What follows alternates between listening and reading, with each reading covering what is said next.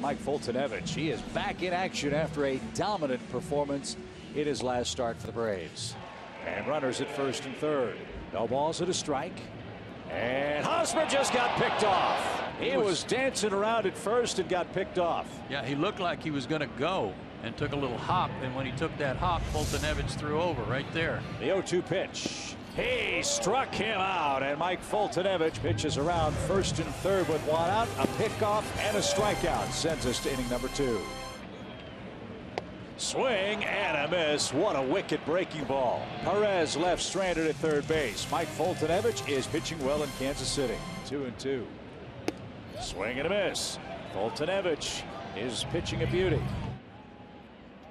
There have not been many comfortable at bats for the Royals tonight. He had Cain on his heels and just struck him out looking. That's four strikeouts for Foltynewicz. Back to the mound, and Foltynewicz, in self-defense, makes the play to retire the side. Mike threw 10 pitches in the seventh inning. He gives up a hit, nothing else. He's through seven with a shutout. Pitch number 103. Grounded up the middle. Diving try. Gets up. Throws. Got him! Oh my goodness.